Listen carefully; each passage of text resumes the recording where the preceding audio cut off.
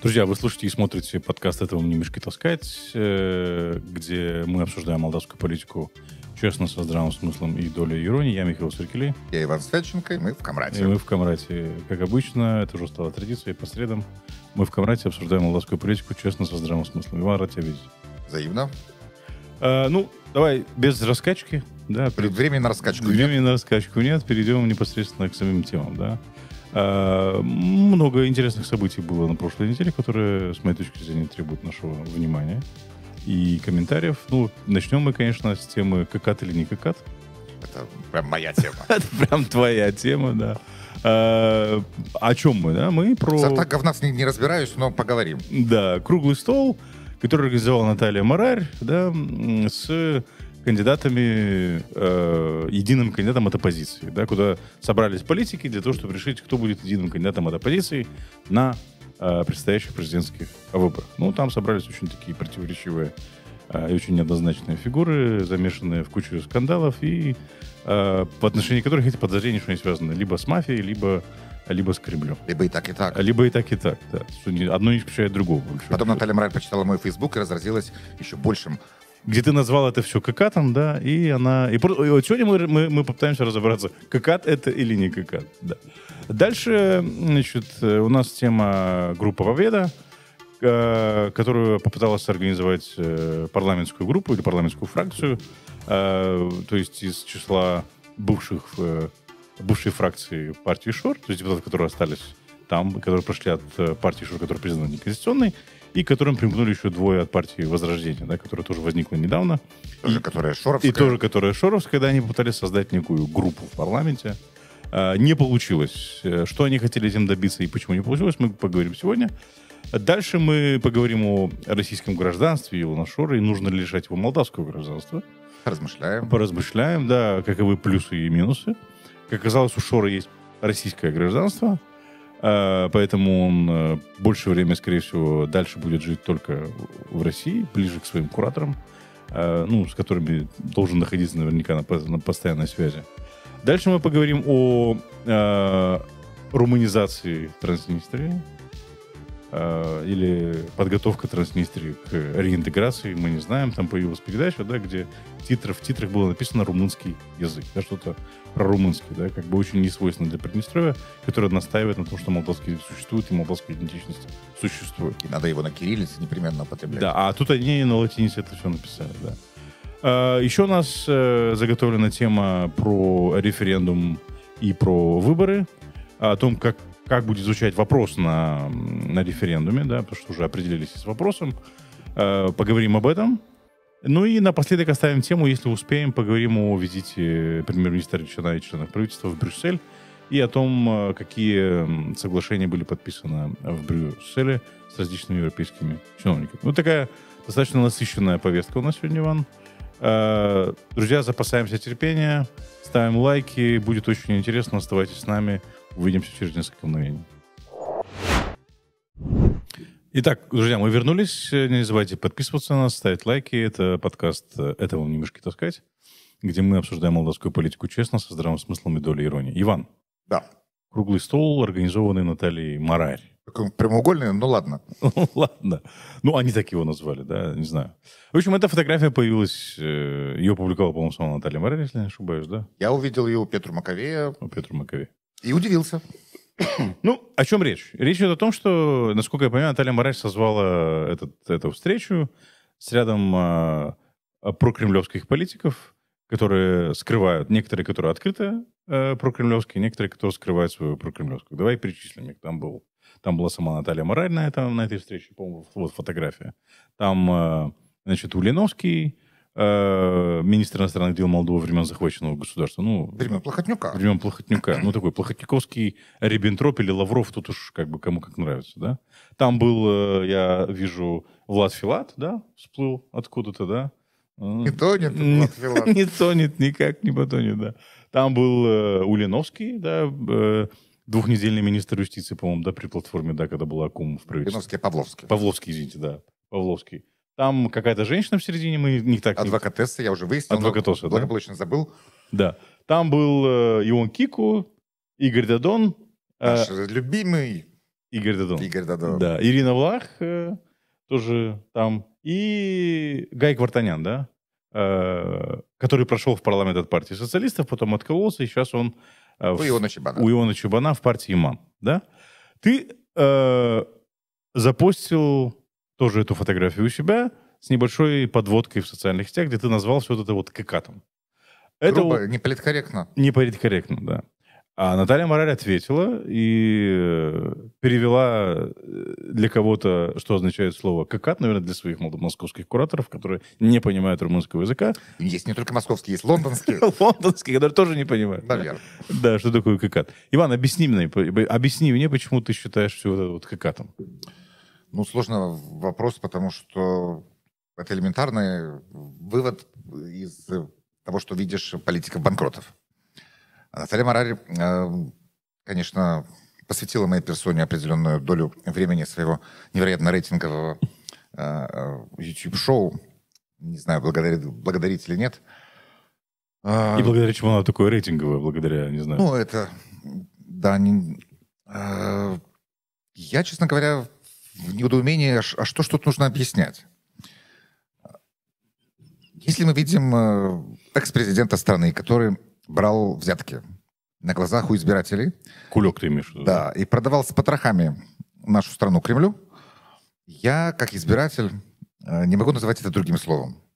Мне не нравится и мне отвратителен подобный политик. И далее по списку можем пройтись по всем, по всем, по всем. Если вот левую э, сторону фланга э, символизирует господин Данон как наиболее успешный карьерист, то по правой стороне э, на золотом крыльце сидел Влад Филат Да. э, который, мягко говоря, замешан в коррупции, как знает вся страна. Мне абсолютно неважно, были там приговоры, не были там приговоры, сидел он в тюрьме законно, не сидел он в тюрьме законно. Меня это не интересует. Вся страна знает, что это коррупция, контрабанда и многолетнее вранье. Ну да, и с Владом Филатом ассоциировались очень большие надежды. Да, он плюнул он своих плюнул. же собственных избирателей. Да. И его же собственные друзья за него никогда голосовать не будут. И его же просто так тупо развели, грубо говоря, тот же Плохотнюк, да, за- за- втянув в эту самую схему. Оказался парень очень слабенький, да. Ну, в заложниках оказалась вся страна. Мне абсолютно, не, опять же, не интересует, кто кого куда там втянул, как они там бодались своими олигархическо-политическими кланами Мафиозными. да. мафиозными. Страна очутилась в руках господина Плохотнюка. Это не очень хороший... И, плох- и Филат ее слил, грубо говоря, да? Не очень хороший путь для либеральных демократов, на которых многие ставили и к которым многие питали надежду. Вот. э, Ну и в целом вся компания не внушает мне доверия, а, и голосовать я за них не буду. Единственное, что мне вот особо хотелось бы отметить, что пафос э, нашей бывшей коллеги, моей бывшей коллеги, а, Ну и мои тоже, так что... ну, я как-то просто... не- я не Евгения Марковна Альбац, чтобы говорить вон из профессии. Я просто для себя... Ты, ты Евгений Марковну Альбас, тут я такой не зря упомянул. Да, ну это ж э, друзья с Натальей Мораль. А, Я вот не считаю Наталью Мораль- нынче своей коллегой. По самым разным причинам. А в прошлом считал ее? Ну, мы, мы работали вместе. и, А, да, публика точно, да. Да. А мы на ТВ-8, да, соответственно. Э, Про пафос. Про пафос э, в отношении моей персоны. Как я посмел, как я мог. И я раскалываю общество и прочее. Какая-то бредятина. Дело в том, что я избиратель. Я не состою ни в какой партии. И более того, я никуда не собираюсь баллотироваться. Мне власть не нужна. Я не, полити- не политикой, политикой не занимаюсь. И вот И это- заниматься не собираешься. не собираюсь. Я высказываю свое мнение, что нельзя. Или у нас диктатура. Михаил. Ну, судя по Наталье Мораль, у нас диктатура. Ну, наверное. И Ирина Влах там тоже, да, что якобы там проверка началась на ТВЦ-21, потому что Ирина Влах там что-то там высказала. Но проблема в том, что Ирина Влах уже там, не знаю, года три высказывает.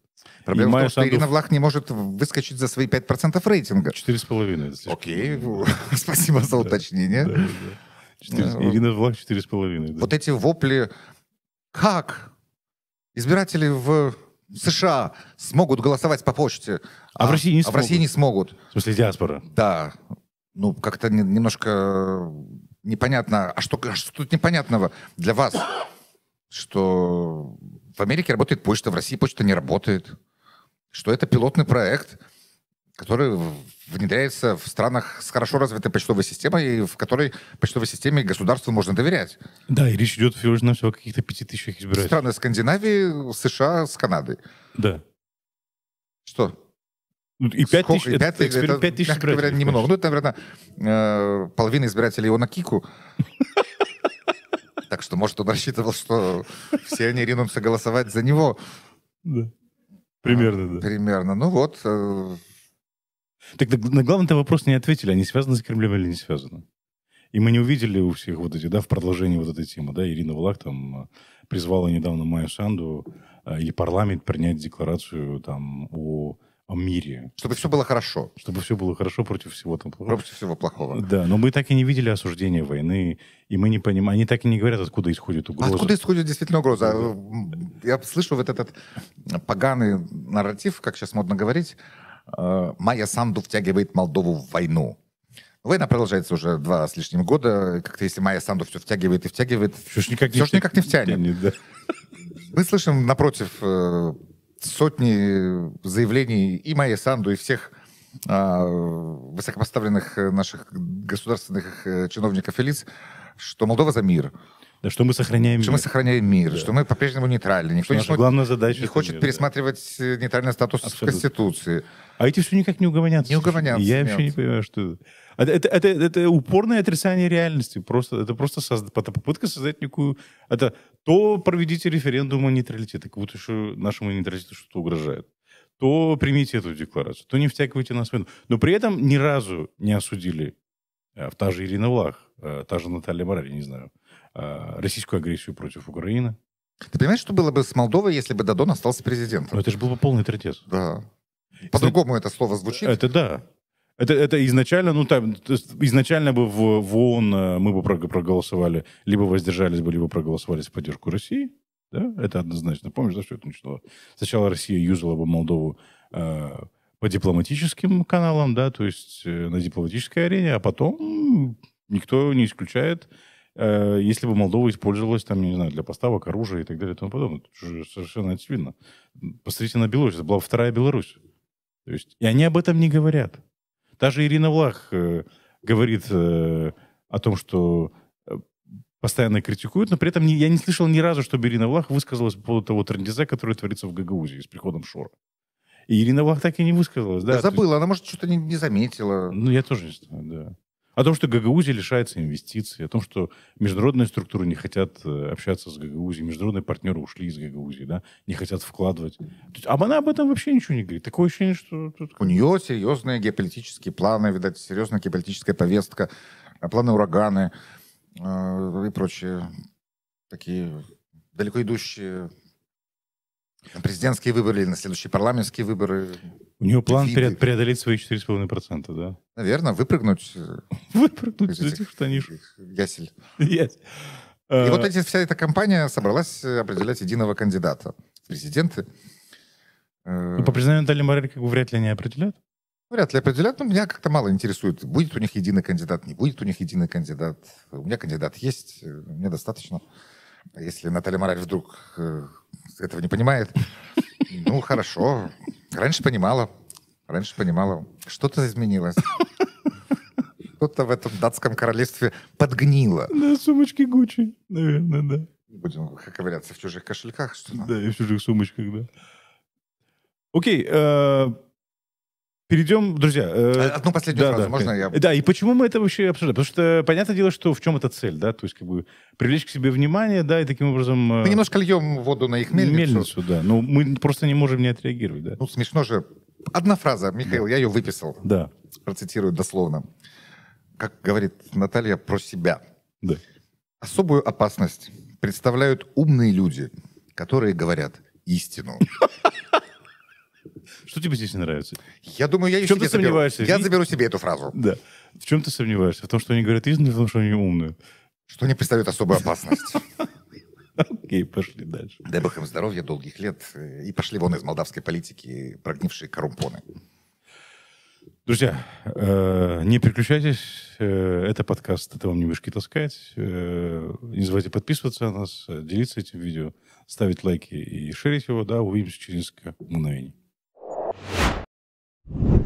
Друзья, мы вернулись. Это подкаст «Это вам не мешки таскать», где мы обсуждаем молдавскую политику честно, со здравым смыслом и долей а, иронии. А, не забывайте подписываться на нас, друзья, если вы этого еще не сделали, да, и ставить свои лайки. А, вот, о чудо, да, в молдавском парламенте решили создать новую группу а, «Победа», да, в честь той самой а, партии или движения, не знаю, которую собрали в Москве. Девять депутатов поехали к Володьке. Девять депутатов поехали. Да, и они, по-моему, да, что-то там э, Марина Табер заявила, да? э, Что-то она там заявила. Марина Табер поблагодарила за поддержку России Владимира Путина, э, да, когда они создавали это, они в парламенте сделали заявление, да, лидером этой группы должен был стать Василий Боря. Известный наш восхитительный политик. Да, Василий Боля, то есть из кого сос- пытались создать эту группу, да, то есть это те самые депутаты. Из ККАТа. Не из КК. Нет. А ККАТ в парламент не прошел.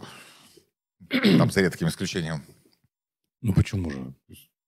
Ну хорошо, беру свои слова обратно.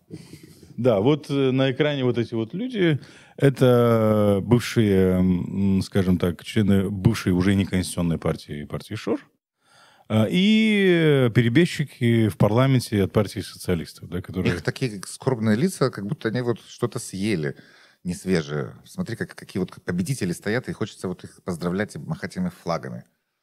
Ну, не знаю, что они там съели, но, в общем, они попытались создать группу, а, которую тут же, тут же ликвидировали, в общем, не дали им возможность создать. И не дали эту группу возможность создать, потому что на создание каких-либо э, фракций и групп в парламенте наложен запрет на вот их самых э, членов парламента от э, неконституционной партии ШОР. То есть На они- самом деле это диктатура желтой чумы, Михаил. Ну что? Зачем тебе закон? Когда есть диктатура. Ты считаешь, что это из-за диктатуры Это у нас все из-за диктатуры. Не, ну давай, давай, если, если серьезно, если честно, как бы, нужно ли было им запрещать создавать эту, эту группу? Мне все равно. Я смотрю, что парламент, э, парламентское большинство ссылается на закон, приводит выдержки из регламента парламента. Ну, собственно, идите оспаривайте в суд. Ну, мне, честно говоря, да, это вопрос уже к прокуратуре, антикоррупционной прокуратуре суда, да, что Марина Табриш делает, делает в парламенте, да, несмотря на то, что ее сколько... К антикоррупционной прокуратуре очень много вопросов. Да, вот столько раз лишили уже неприкосновенности депутатского иммунитета, она все возвращается в этот парламент и пытается там что-то сделать и так далее и тому подобное. Дадона тоже лишь... Или Дадон- Дадона еще не Нет, лишали Дад- неприкосновенности? Нет, по-моему, еще... Ну, Дадон же, лишь... Дадон же ушел из парламента еще Да, в да, самом да, да, начале, пардон, да. пардон, пардон. Дадон же ушел для того, чтобы возглавить некий союз предпринимателей, там, не знаю, деловой союз, чего-то там, да. Ну вот они попытались создать, и как-то не получилось у них создать. Я думаю, это было сделано для того, чтобы дать некую, некую легитимность этой, этой, этой самой победе. Да? Что, есть показать, что у победы, а победа это парламентская партия, которая еще не зарегистрирована и вряд ли будет зарегистрирована. Да, ну как-то придать некие себе, такую себе легитимность. Смотрите, мы, Ну, мы на шапке, в бу- бумажках можно записывать, логотипчики ставить, флажками махать. парламентская, парламентская Да, да, фрапартия, да, и так далее. И не получилось, не получилось, да, то есть это было бы... И смотрите, с чего они начали, да, с благодарности Владимира Путина. То есть сразу показывают, кто их хозяин и на кого они работают, и что они будут делать в случае дальше, да, то есть как будут зазывать и дальше, да, Владимира, Владимира Путина. Ну, же- Почему на этом круглом, ква- круглоквадратном, квадратно-гнездовом столе э, не было представителей партии ШОР? Уже ли это не оппозиция? Ну и всех его карманных э, подсвинков. Ну, я не знаю, там, кстати, были карикатуры с вопросом, кого же здесь не хватает. Да, да. Слона-то вы в комнате-то не приметили. Владимир Георгиевич есть, Владимир Васильевич есть. слон в кадр не попал. Да Игорь Николаевич, вот он, Яути сидит. Да. А этот... А этот нет. Дедушки, кстати, тоже не было. Ну, я думаю, что он же уже Ну, хочет все бойкотировать. э, Усатого не было, кстати, да. Ну, это, может быть, это и хороший признак. Евгений Гуцул не было. А вы, Евгения Гуцула занята поездками в Москву. Ну, тут да, тут интересно. То есть... Переформами и с этими каруселями, ну, слушай. А, ну да, вот- вот должно быть- 1 июня, да, да, Да, да. да, счастье да, да. наконец прольется. Никак, никак. Постучалась никак, в да. двери. Счастье вдруг. Никак, никак не, до- не закончат эту стройку, да, посмотрим, что у них получится. Ну, в общем, да, не получилось создать партию, фракцию Победа. Пойдешь прыгать на батутах? Нет. Нет, хорошо. Друзья, э, мы переходим к другой теме. Не переключайтесь, мы скоро вернемся и поговорим о российском гражданстве Илона Шора, о котором он объявил э, в интервью одному российскому э, журналисту. Скоро увидимся. Друзья, мы вернулись. Это подкаст «Этого немножко таскается», где мы обсуждаем молдавскую политику честно, со здравым смыслом и долей иронии. А у нас следующая тема. Мы поговорим о российском гражданстве Илона Шора, о котором он заявил в интервью одному влогеру Стасу Васильеву, да. А, и так спокойно мы узнали, что Илон Шор, оказывается, гражданин Российской Федерации. До этого отрицал, но, видать, э, товарищ зрел, зрел, зрел, и вот на третьем году войны решил взять самое нынче популярное э, российское подданство. Ну, у него, мне кажется, не остается других вариантов, да, кроме как того, что в Израиле, видать, наверное, видать, ему оставаться было опасно дальше. Ну, судя по всему, да, переговоры Кишинева Израиля о Возможно, экстрадиции. экстрадиции явно шли, и, видимо, запахло жареным. Ну и чтобы не пострадать. И чтобы быть поближе к своим кураторам. Да, что там, господи, то телефонные переговоры, то нужен какой-то частный самолет, то в Турции То какая-то защищенная Зачем это? связь. защищенная Да, да, связь. слишком много проблем. А тут, собственно, что? Под боком, да. Под пред- боком дача есть, Да. дом есть, друзья. Песков. Да. Усы Пескова, да, и так далее. Ну, тут очень интересно, э, это, опять же, мы говорили об этом, по-моему, в одном из наших выпусков, это по поводу его уголовного дела. У него же, на него же возбуждали уголовное дело в Российской Федерации. Оказалось, что... Потом препод закрыли Препод глаза. И уголовные дела. Оказывается, он уже не, не, не уголовный преступник для Российской Федерации, а очень даже по- полезная игрушка, очень полезный инструмент для дестабилизации Республики Молдова. Он был даже какое-то время, насколько я помню, персоной нон-грата. В России, России. он не мог туда заехать. Заехал. Ну, заехал, да. да, И получил... Времена меняются. Вокруг, э, вокруг этого, в связи с этим, как бы разворачивается дискуссия в Республике Молдова о лишении гражданства лиц, которые, ну, там, наносят серьезный ущерб э, интересам страны. А, по-моему, в парламенте сейчас обсуждается законопроект, который, не знаю, там, э, э, в случае принятия даст возможность президенту лишать гражданства. Президент и так, если возможность лишать гражданства, но там расширяется, по-моему, да, это список. Ну, Сим должен поработать и выдать свой вердикт. Да, в том числе, в том числе туда, я так понимаю, включили лица, которые находятся под международными санкциями. Мгм.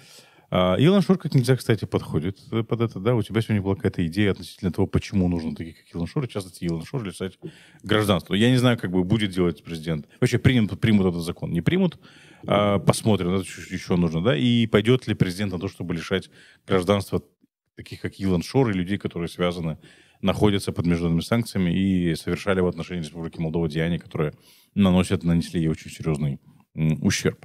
Но тут есть э, как бы рациональное зерно в этом, да, то есть как бы лишение Илона Шура гражданства, что даст Республике Молдова?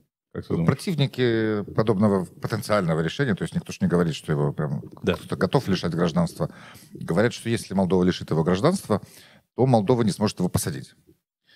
А я человек мирный, я никому тюрьмы не желаю. Мгм. Даже вот прожженным кыкатам, не будем называть их по именам, их можно, собственно, посмотреть на них, полюбоваться рожами. Вот. Но тюрьмы я никому не желаю. Мне вот не нужно, чтобы кто-то там из них э, сел в тюрьму на 15 лет. Мне не нужно. Мне плевать на этот украденный миллиард. Прошло 10 лет. Я живу сегодняшним э, днем и будущим. Ну, насколько вероятность того, что вообще Молдова сможет его посадить, на самом деле? Практически никакой.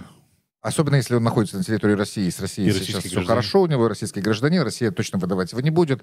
Россия через него проворачивает э, махинации, ведет гибридную войну, продолжает гибридную войну против Республики Молдова.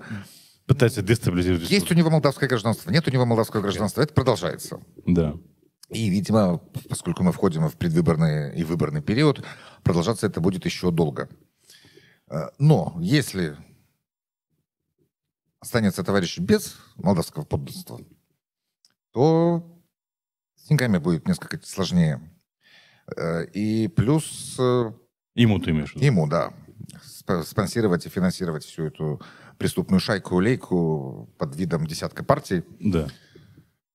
Ренаштеры там и всякие прочие. То есть он уже не сможет быть официальным лицом этих политических Да. партий и в избирательных кампаниях участвовать в поддержке этих политических не сможет партий. никуда избираться, ни Да. теоретически, ни практически. Э, И станет чуть легче дышать. Потому что, ну, пускай строит свою прекрасную политическую карьеру в, новой, в новом своем государстве. Пусть избирается в Государственную Думу, пусть э, баллотируется на пост президента Российской Федерации. Совет Я думаю, Федерации. такой глубокий э, ум, как минимум ровня Владимиру Путину, а может быть даже и более. Кто мешает? Гражданство есть. Потенциала побольше. Да, Молодой хотя бы, но, господи. Да. Он там, представляешь себе, какие он провернет шашни? Все будет тихо, мирно. Войну закончит. Может стать мэром Биробиджана, например. Ну, а почему ты думаешь, что Москвы он недостоин? Москва Достоин. стоит месяца. Да, почему нет? А как же насчет правосудия? Вот понимаешь, э, как бы он-то должен понести наказание. Это не ко мне, я не прокурор. Уже ты не считаешь, что он должен понести наказание в Республике Молдова за те преступления, которые он, он совершил в Республике Молдова? Мне все равно. Тебе всё равно. По закону, да, должен. А мне вот как избирателю, как гражданину, мне все равно. Ну, тут есть некая рациональность, ты рассуждаешь с точки зрения того, насколько были велики риски. Остав- Оставаясь гражданином Республики Молдова, он может нанести больше вреда, чем принести пользу. Да. Но пользы он никакого. абсолютно нет, Я не да. знаю, никакой принести не может. Ну, если карусели Гагаузии это счастье, то Нет, конечно. моя жизнь несколько ну, больше какой-то потенциал интереса вмещает, в том числе процесс европейской интеграции.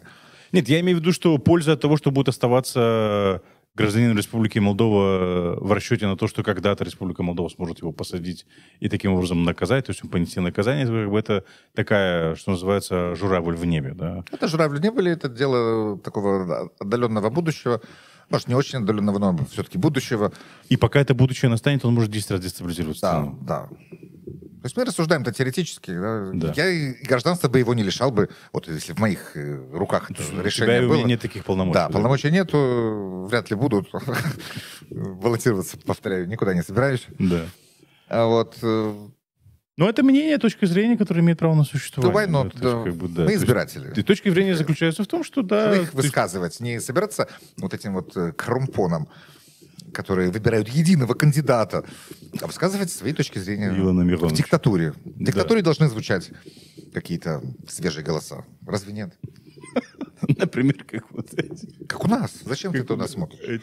Нет, а, точка зрения заключается в том, что э, лишая Илона Шора гражданства, мы просто-напросто предотвращаем его возможность оперировать в Республике Молдова и участвовать в избирательной кампании. Потому что, как мы видели, а, в избирательной кампании Евгений Гусев был главным лицом. Он фактически был кандидатом. Да? То есть де юре она была кандидатом, да, которого зарегистрировали в избирательной кампании. Де-факто башлял Де-факто он- товарищ. Да, и он был главным лицом этой избирательной кампании. Ну, с да? телевизором, они же носились с телевизором, Да. как с иконой. То есть, если он не будет иметь гражданства, то есть, как бы он уже не сможет вовлекаться в эту избирательную кампанию. Любое его вовлечение в эту избирательную кампанию будет рассматриваться как вовлечение иностранного гражданина, да, то есть, что дает основание, по большому счету, снять кандидата, которого поддерживает не гражданин, как бы с избирательной гонки. Ой, дай мне волю, я бы устроил тут такую диктатуру. И поснимал бы многих с выборов. То есть, ты не согласен, что заявление вот этой группы, которая собралась кругло, как ты назвал, кругло, э, круглый стол, Квадратно-гнездовой. квадратный гнездовой. Квадратно-гнездовые переговоры о едином кандидате. Да, они, кстати, очень часто рассуждают по поводу того, что в Молдове диктатура, диктатура Майсана, диктатура Пас. С этим согласен, что ли? Ну, не совсем. Я просто боюсь уже... э, скажешь сразу матом, матом, матом. Надо же быть вежливыми, интеллигентными людьми. Ну да, С я... трудом получается, когда смотришь на эти коррумпированные рожи. Опять же, то есть возникает... Вот, вот эти люди, которые ни слова еще не сказали Владимиру Путину и его агрессии. Ну, зачем? в- Не, ну, у нас диктатура. Майя Санду. А если мы должны дружить с Российской Федерацией, с какой Российской Федерацией мы можем дружить, как- пока там находится режим Владимира Путина? Который- А никуда Владимир Путин уходить не собирается. Да, которые с нами дружить не собираются. Нет, нет, посмотрите на Марию Владимировну Захарову. Да. С кем там дружить? С Шойгу дружить? С вот этим всем ариапагом старых пердунов? Ну, я, я просто представляю себе, если бы Игорь Дадон или и, и он э, Кику, или тот же Илон Шор сказал, что Владимир Путин — это режим, и он недостойно управляет этой страной. И просто интересно было бы посмотреть, через сколько минут они оказались бы где-нибудь э, в подвале какого-нибудь следственного изолятора, и через сколько мгновений у них в одном месте оказалась бы э, бутылка от шампанского, да, как Ну, любимый. либо добровольцами на фронт защищать э, Да. Россию как- СВО, да. на СВО. Да. Там много вариантов э, хорошо развитой демократии, такого государства, передового во многих-многих отношениях, из которого, правда, молдавская диаспора пока не сможет проголосовать на выборах по почте. Увы, Увы, не в этот раз. не в этот раз, да. Next time, Next time. probably. Да, в какой-нибудь другой жизни.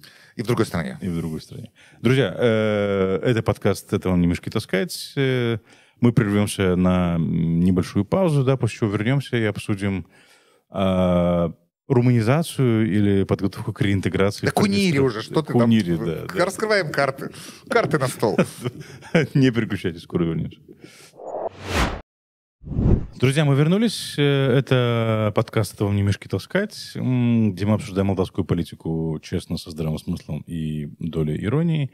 Иван, ну, очень многие молдавские СМИ на прошлой неделе обратили внимание на то, как э, Приднестровское телевидение э, назвало румынский язык румынским, и э, субтитры, или как это называется, плашку, да, внизу, которая... Нет, субтитры, субтитры, да, субтитры. дала на румынском языке, на румынском алфавите, на латинице, да, а не на кириллице, да, и не называет его э, молдавским. Микросенсация, но такая показательная.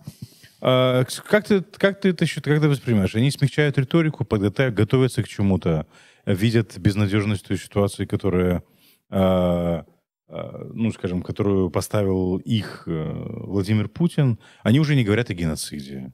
Да, это удивительное э, исчезновение слова геноцид из риторики господина Игнатьева. И наши коллеги... А может, ему СБУ объяснило, да, что здесь нет никакого геноцида? Может, СБУ объяснила, может, э, компания «Шериф» объяснила, может, здравый смысл возобладал. В конце концов, э, если вернуться на полшага назад к субтитрам на румынском, на латинице, это же здравый смысл. Это же не нужны никакие геополитические, политические решения. Язык романской группы а, пишется на латинском алфавите. Ну что, а разве они нужны были 30 лет назад? Так они же тоже 30 лет назад. Вот нужны. умнеют люди. Проходит время, до кого-то доходит э, с опозданием. Прописная истина. Ну, слушай, французский не, не пишется кириллицей. Нет, конечно. Прекрасная кириллица. Я очень люблю кириллицу. Я пишу на кириллице по-русски. Но невозможно писать по-французски на кириллице. Нет, конечно. Правда? Как и на румынском. И на румынском это тоже выглядит совершенно ужасно. Абсолютно. И на гагаузском на кириллице нельзя писать. Вот. Это лингвистика, опять же. Мы в прошлый раз говорили что-то по поводу лингвистики. Это лингвистика, это не политика. Ну вот, видишь, э, здравый смысл, возможно, подкрался и до лидеров Тирасполя, поскольку, я думаю, именно они определяют э, то, как работает Приднестровское телевидение. Ну, кстати, очень интересно, я обращаю внимание на то, что, ну, если смотреть на, назад в историю, такую Э, такую неотдаленную историю годов так, года так 90-е, да, э, времен э, непризнанной Гагаузской, самопровозглашенной Гагаузской республики, да, mm-hmm. мы видели, как значит, политические лидеры из Камрата и Тирасполя братались и чуть ли не целовались в десна. Сейчас, когда в Шор пытается в Гагаузии организовать этот, весь этот трендец, да, с противодействием процессу европейской интеграции, запугиванием сепаратизмом и так далее, мы пока не видим как бы попыток наладить какое-то взаимоотношение с Приднестровьем, с Тирасполем, да, и с Гагаузией. А, и, тут, и тут интересно, Тирасполь сторонится всего этого, не пытается дистанцироваться от того, что происходит в Гагаузии.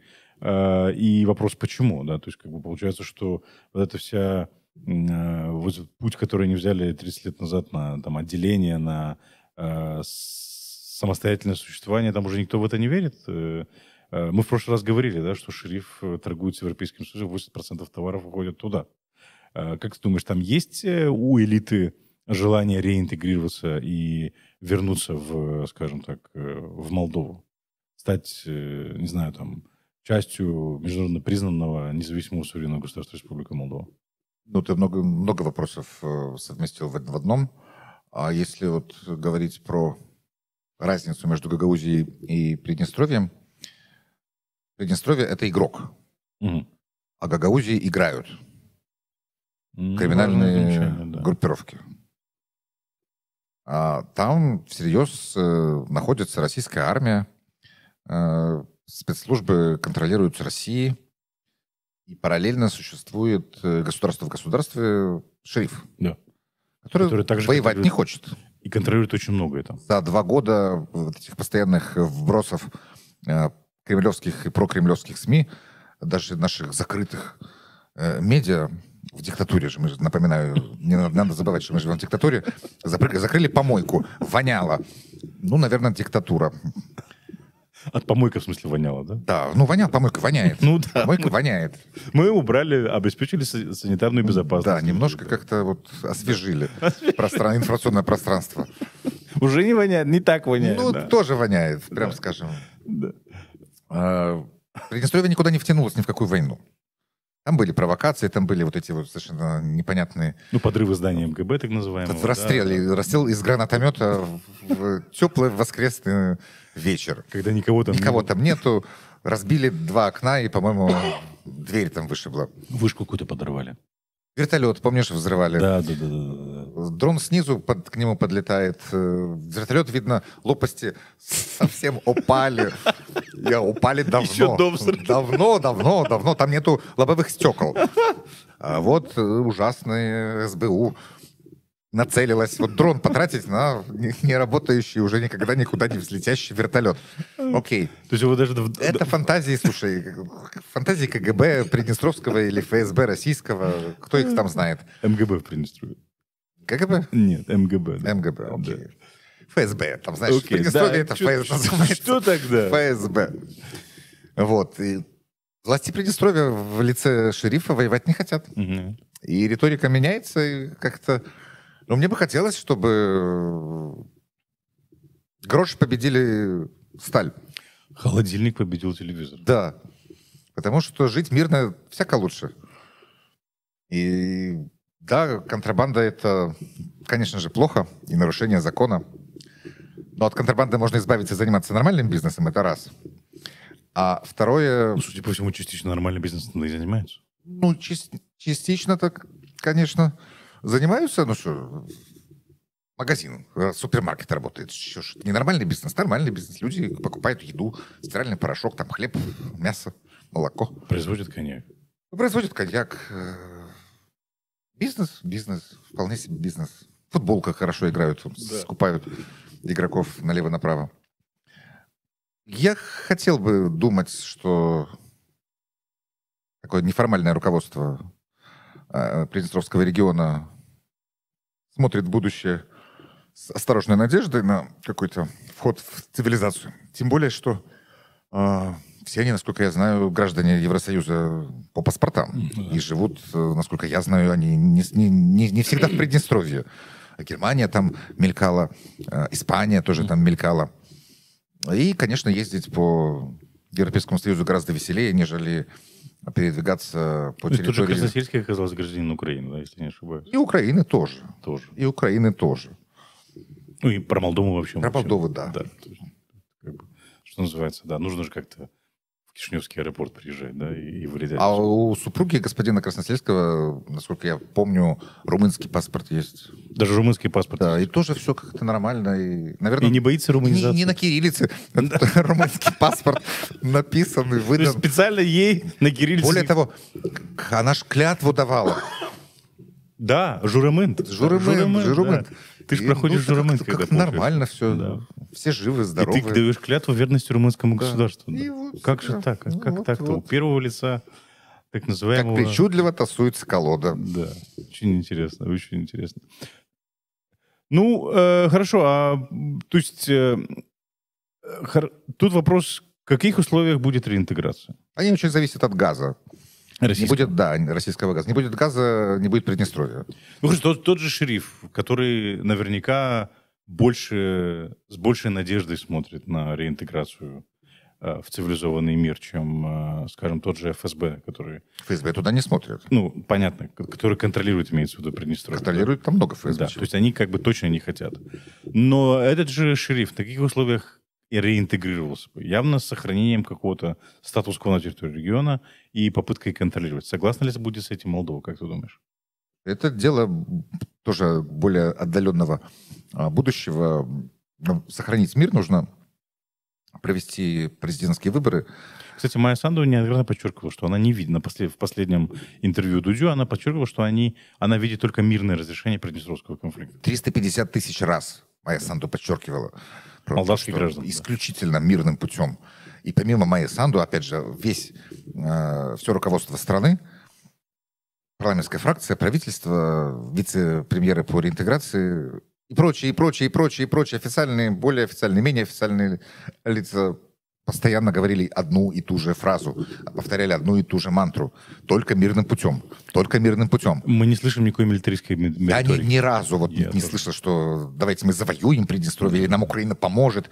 Вбросы десятками случаев. Попытка спровоцировать. Провокации понятно. выше крыши. Да, да, да. Как-то вот картина другая реальности. Абсолютно. Если ты хочешь жить в фантазиях, ну, фантазируй. Можешь в калейдоскоп смотреть и увидеть красивое э, солнечное небо. Да.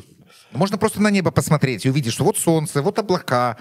Не надо калейдоскопов тебе. Тем более, что калейдоскопы немножко подпорчены Кремлем. Нужно ли искать способ реинтеграции? Потому что очень многие, я прошу прощения, очень многие эксперты говорят о том, что вот сейчас, что называется, э, то самое время, Но возможности... окно возможностей, и нужно сейчас искать какое-то решение для Приднестровского вопроса. Потому что если, ну, допустим, в этом году истекает срок э, э, контракта между «Газпромом» и «Укртрансгазом», да, который транспортирует сюда через территорию Украины газ э, в Республику Молдова. Контракт заканчивается, соответственно, российский газ больше не сможет поступать через Укртранспортную газотранспортную сеть Украины в Республику Молдова, соответственно, нечего будет поставлять Приднестровью. А, невозможно будет поставлять Приднестровью российский газ. И тогда уже Приднестровье каким-то образом, ну, грубо говоря, само отвалится от Российской Федерации. Потому что за счет российского газа, то она, по большому счету, и существует. Да? Понимаешь, это все очень сложно а, рассуждать э, теоретически. А на То есть это практике... непростая математика. Это совсем непростая математика. Просто так э, от российского газа Приднестровье отказывается, и в регионе начинается реальная какая-то катастрофическая экономическая э, ситуация. И гуманитарная катастрофа для Республики Молдова. Потому что, ну, как бы, и там живут наши граждане тоже, да? Ну да. 370 тысяч человек, они с, с молдавскими паспортами. А эти молдавские граждане, граждане в своей жизни еще за газ э, не платили. Нет, и за электричество толком тоже не Ну, платят. как у них, они, разумеется, оплачивают свои коммунальные счета, но, Да, но это, это- мягко говоря, далеко от рыночных цен, Ну, по которым Молдова мало, да, платит, ну, последние 25 лет Да. уж точно. А Вот. э, И что делать дальше, непонятно, потому что э, на газу, на, на газу или на газе, Неважно. с помощью бесплатного российского газа работает Молдгрэс и работает ММЗ. А это плюс-плюс э, 70-75% э, доходов э, бюджета непризнанного нашего региона. А тут бабах и нету. У них сейчас э, дефицит бюджета 50-55%. А там будет просто э, не кэкат, но кикос. Что с этим делать Молдове, непонятно. И что с этим делать э, международному сообществу, тоже непонятно. Россия э, вряд ли будет да, переводить доллары на поддержание а, благосостояния жителей Приднестровья, потому что, потому что ну, нет газа, нет ножек, нет сапожек. Ну, на самом деле, да, проблема очень сложная, и у нее нет такого простого решения. Я не взялся бы решать, потому Нет, что ну, есть специалисты э, поумнее меня. Абсолютно. Ну, это, во-первых, да, вопрос цены, вопрос качества жизни, вопрос уровня доходов, вопрос цен. Цены там, те же самые энергоносители, они до сих пор ниже. То есть Ну, платят там то, что ниже, совсем дешевые там. Да, то есть люди Потому платят, что платят копейки за Такая газ. прекрасная власть нет диктатуры. А потому что есть бесплатный газ, Да. за который население что-то там платит. Но диктатура там как раз-таки есть. Ну, кому-то нравится. Окей, э, мы прервемся на короткую паузу, после чего вернемся и поговорим о предстоящем референдуме и выборах. Тем более уже парламент проголосовал за окончательную формулировку вопроса, который будет внесен э, в бюллетень по референдуму, да, о том, какой этот вопрос и каковы здесь, ну, не знаю, там, риски э, или не риски, да, в связи с этим, да, мы поговорим через несколько мгновений. Не переключайтесь, скоро вернемся. Друзья, мы вернулись. Это подкаст «Это вам не мешки таскать», где мы обсуждаем молдавскую политику честно, со здравым смыслом и долей иронии. А, Иван, у нас э, следующая тема. Мы в этой части предлагаю поговорить о референдуме и выборах. 20 октября Да, голосуем за. мы голосуем за Здравый смысл. За здравый смысл, да. Значит, э, уже парламент проголосовал за вопрос, э, который будет включен в бюллетень, и как он будет включен. Раньше, значит, э, первый вариант звучал так. Вы за присоединение Молдовы в Европейский Союз, да или нет? Но поскольку речь идет о внесении изменений в Конституцию, да, и люди будут голосовать за изменения в Конституцию, а мы уже говорили, какие изменения будут внесены, будут внесены изменения в преамбулу, да, где путь европейской интеграции определяется главной стратегической целью Республики Молдова, и также вносится статья, по-моему, 35 прим. Прим, да, где говорится о верховенстве э, зак- законодательства сообщества над законодательством э, Евро- э, Ну, Республики собственно, Молдова. мы де-факто этим и так уже обладаем. Руководствуемся, да, по Да. большому счету. А, вот э, как будет звучать вопрос в смысле в той версии, в которой, за которую проголосовал парламент? Значит, поддерживаете ли вы изменения в Конституцию ввиду вступления Молдовы в Европейский Союз? Да. И Отвечаю, да. будут Ты задаешь мне нет? вопрос. Сразу, да? Я тебе отвечаю, да, Да. поддерживаю. Проголосуйте «да». Скажи «да» или проиграешь. Помнишь, была такая, да? Ну, голосуй и мозгом, и сердцем. Очень многие утверждают, что это может быть риск, да, потому что как бы здесь неоднозначно спрашивается, вы за европейскую интеграцию или, или против европейской интеграции. Здесь какая-то формулировка о том, что как бы, ну, вот тут внесение изменений в Конституцию, как бы, да, и тут... Юридически она более корректна. Если руководствоваться мышлением юристов и легистов, есть такое в русском языке, как я недавно узнал слово, Да, легисты, да. легисты. Если вот смотреть на это с точки зрения легиста, то второй вариант, окончательный вариант, он более юридически корректен. На мой взгляд, я не юрист, но я, разумеется, работаю э, много лет с э, проектами законов, постановлений правительства. Я вижу, как э, идет законодательный процесс, я знаю все эти этапы. На мой взгляд, второй вариант, окончательный вариант, он более корректен с юридической точки зрения. Ну, А в правильно- целом что отвечает, что так, что так, отвечает, да, я за, я за здравый смысл. Ну, он же как бы более корректен со всех точек зрения, потому что мы же вносим изменения, вернее, предлагается внести изменения в Конституцию. А и мы, народ Да. Республики Молдова, вносим изменения в Конституцию о том, что мы за нормальную жизнь. Да, и тут э, разворачивается очень серьезная кампания. Опять же, раздувают скандал, не то чтобы скандал, да, опять запугивают людей о том, что якобы э, те, кто призывает не участвовать в референдуме, призывают, э, скажем так, запугивают людей тем, что вот мы дадим э, ПАСу право решать относительно того, что, что вносить в Конституцию. То есть мы, участвуя в этом референдуме и высказываясь «за», мы дадим им право э, своими пальчиками лезть в Конституцию и ее там менять. Ну, про- проект-то уже есть поправок этих. Ну, в том-то и дело, да, что проголосовав на референдуме за, допустим, да, ты не даешь права... ПАС не будет сидеть и думать, окей, что какие же изменения теперь мы внесем в Конституцию. Уже есть эти Уже изменения. есть изменения, да. они уже Проект утверждены. изменений, он принят. Чё- Если люди скажут «да» на, на референдуме, соответственно, уже четко понятно, какие изменения будут Что внесены. будет в Конституции нового? То есть мы об этом Не уже... так, что очень много нового, но очень важного, да. Но э, голосуя на референдуме, люди будут голосовать в том числе за вот эти поправки. Собственно, это смысл Да. этого референдума внести поправки в Конституцию, да. И конкретные поправки, которых мы... говорим. Конкретные поправки с конкретными буквами, словами и предложениями. В общем, друзья, голосуем «за», А не будем дураками. а не будем, да, И валять дурака. Пускай вот какаты, не какаты, которые смотрят на эту страну а, с высочайшим а, омерзением и грабят эту страну и считают, что живут здесь идиоты, тупые бараны, бедные, нищие, тупые бараны, которым не нужно никакое будущее. Ни нам, ни вашим детям, ни внукам, э, ни правнукам. Так вот, чтобы эти товарищи с любыми своими позициями, пусть они их высказывают, мы демократическая страна, Не А, диктатура. не диктатура все же. Но чтобы эти товарищи приподзаткнулись.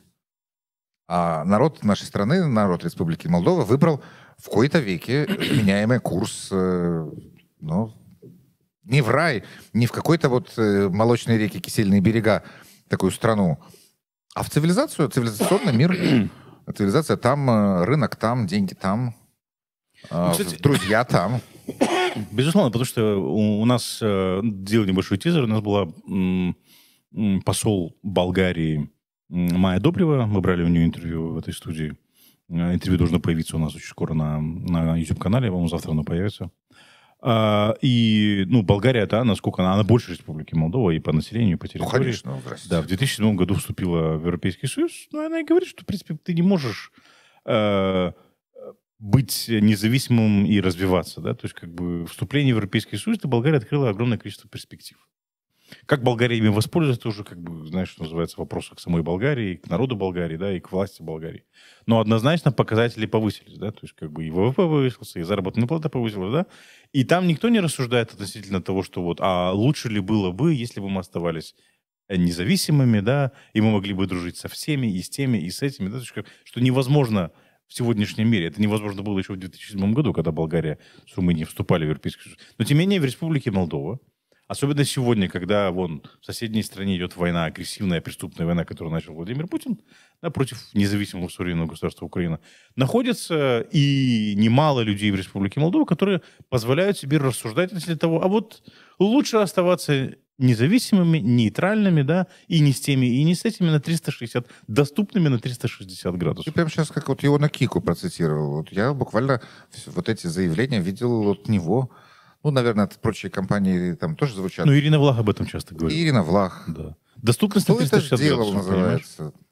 Я не очень представляю себе, как э, можно дружить с Владимиром Путиным после вот этого кошмара, который начался 24 февраля 2022 года.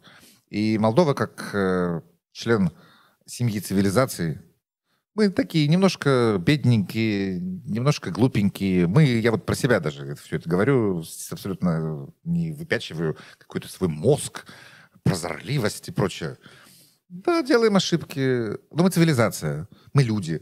И Мы знаем, что людей убивать нельзя, что войну вести плохо, что войну нужно прекращать. Владимир Путин войну не прекращает и прекращать не собирается. И не Абсолютно. прекратит, пока находится у власти. А власти он будет находиться, ну, сколько Господь Бог отмерит.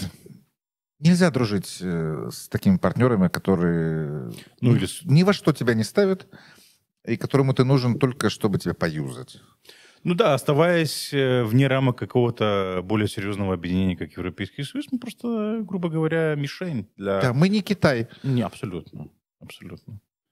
И никто соскаться не будет, да? То есть, нет, как бы, нет. Тут уже совершенно же понятно. да. Все в открытую, все это говорится. Откуда э, придут вежливые человечки? И опять же, участники этого квадратно-гнездового стола ни слова об этом не говорят. Нет, ну они это не замечают. Они замечают диктатуру, а то, что кто развязал, развязал войну, они не говорят, а Молдову втягивают в войну.